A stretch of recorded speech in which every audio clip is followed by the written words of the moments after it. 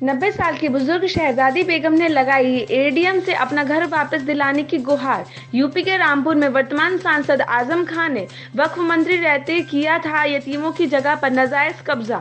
ADM ने जाँच बैठाते हुए अल्पसंख्यक कल्याण अधिकारी से चार दिन में मामले की रिपोर्ट तलब की है। आज यतीम खाना बस्ती की रहने वाली नब्बे साल की बुज़ुर्ग महिला शहजादी बेगम सहित कई लोगों ने कांग्रेस अल्पसंख्यक विभाग के प्रदेश उपाध्यक्ष फैजल खान लाला के माध्यम से डीएम को संबोधित ज्ञापन एडीएम जेपी गुप्ता को सौंपा। देखिए वफ यतीम खाना संख्या एक सौ सत्तावन सराय गेट रामपुर।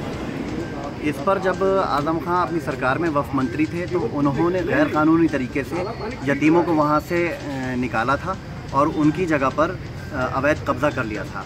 वहाँ पे आज़म खान अपना निजी स्कूल बना रहे हैं। ये जगह नवाब रज़ा अली ख़ान ने यतीमों को रहने के लिए वफ़ की थी। इनके पास वफ़ किराएदारी की रसीदें भी हैं, साथ में वहाँ का आवंटन पेपर भी है।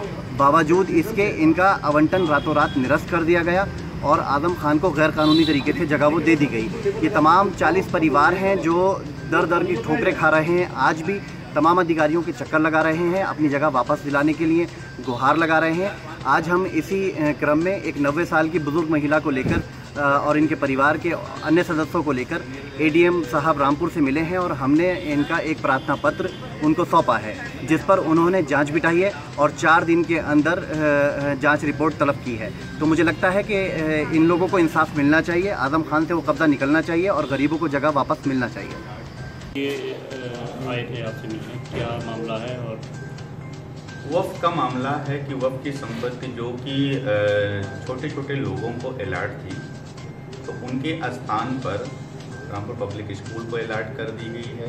तो उसी की शिकायत लेकर के आए थे कि इन लोगों का अलर्टमेंट कैंसिल करके और उनको दे दिया गया, जबकि इनको अलर्टमेंट दिया गया। तो लोग किराएदारी में पुराने समय से फिर रहे हैं।